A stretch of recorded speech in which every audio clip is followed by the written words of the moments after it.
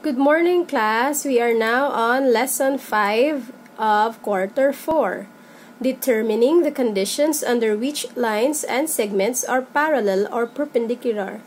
We have studied already about this, but let's give emphasis on def the definition and the characteristics of parallel lines and perpendicular lines. How do we know that it is a parallel or perpendicular lines? So these theorems will remind us. Okay, let's focus with parallelism. Two lines are parallel if and only if they are coplanar and they do not intersect. When we say coplanar, these are lines on the same plane. And when we say intersect, they meet at a certain point. So we have here the figure, two lines, x and y. They do not meet and they do they are in the same plane. They are cut by by the line T, which is called a transversal. So we can say that line x is parallel with line y. See this? This is the symbol for parallelism. Line x and y are parallel with one another. So this is read as Line X is parallel with line Y. Number 2. A line that intersects two or more lines at different points is called a transversal. When a parallel when parallel lines is cut by a transversal, as we can see here, line M is parallel with line N. Here is line M and here is line N, cut by a transversal line T. There are angles formed. The angles formed by the transversal with the two other lines are called exterior angles and interior angles. Exterior angles means angles outside the parallel lines. So they are angle 1, angle 2. They are outside the parallel lines M and N. So also we have angle 7 and 8. So exterior angles are angle 1, 2, 7, and 8. And the opposite of our exterior angles are the interior angles. Interior angles are angles inside the parallel lines. Here are parallel lines and the lines or the angles inside them are angle 3, angle 4, angle 5, and angle 6. Let's continue. The pairs of angles formed by the transversal with the other two lines are also called corresponding angles, alternate interior angles, alternate exterior angles, same side interior angles, and same side exterior angles. Take note that these angles are paired.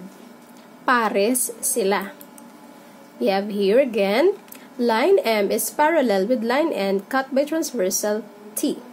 Corresponding angles, we have angles 1 and 5, angles 3 and 7, angles 2 and 6, and angles 4 and 8.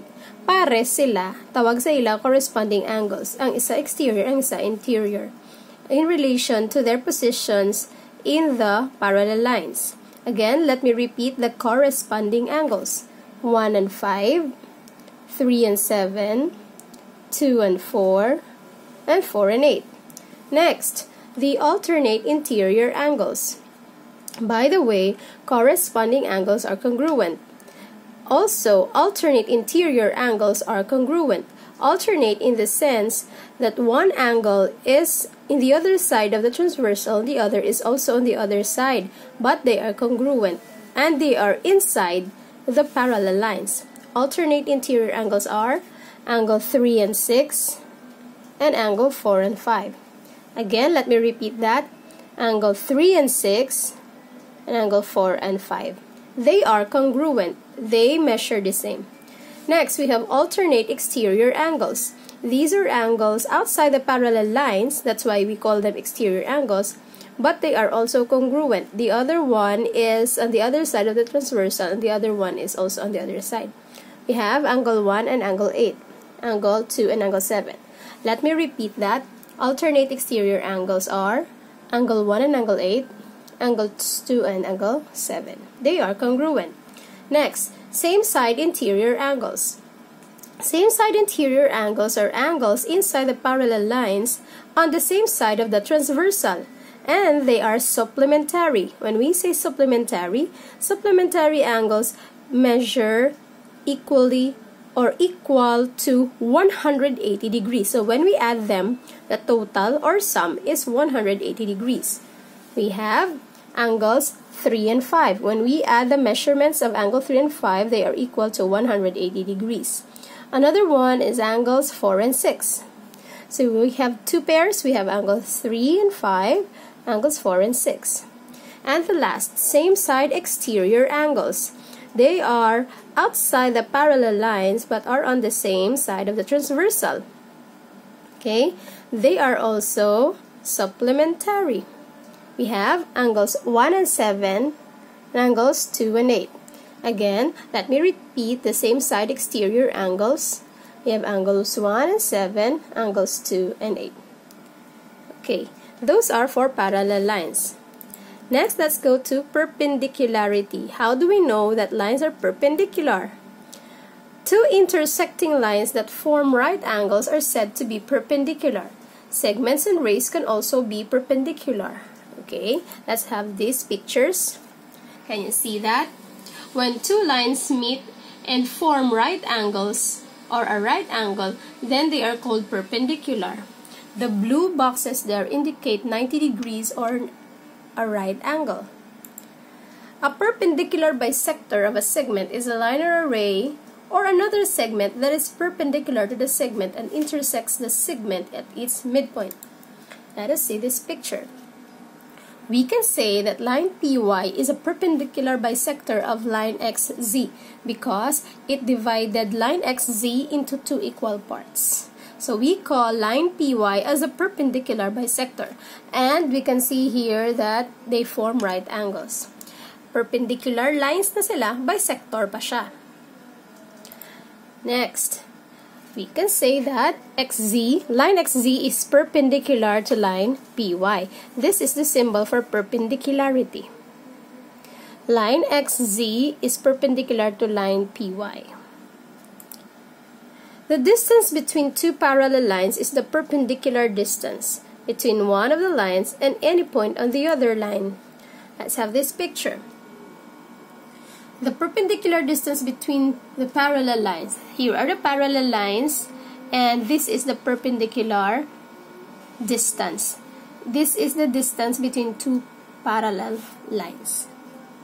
Okay. Okay, let us remember these theorems. If two lines are perpendicular to each other, then they form four right angles. We have there line M is perpendicular to line N, then we can conclude that angles 1, 2, 3, and 4 are right angles. If the angles in a linear pair are congruent, then the lines containing their sides are perpendicular. Angles 1 and 2 form a linear pair. When we add them, their sum is 180 degrees, and they form a line, a straight line. And then Angle 1 is 90 degrees marked by the blue box. So they are congruent.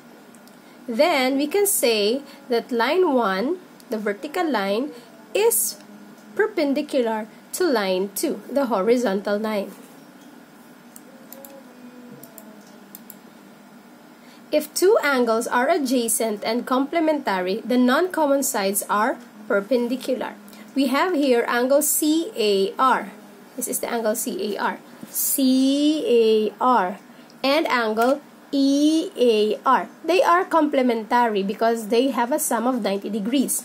These two angles when added is equal to 90 degrees, marked by the blue box.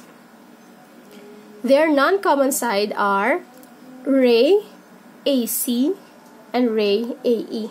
They are called perpendicular lines because they meet at a certain point which is A and they form a right angle.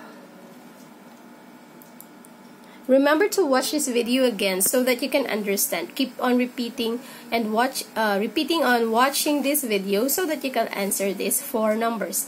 Tell whether each pair of lines are parallel or perpendicular. Pili lang kamo kung ano answer nyo, parallel or perpendicular. Thank you very much.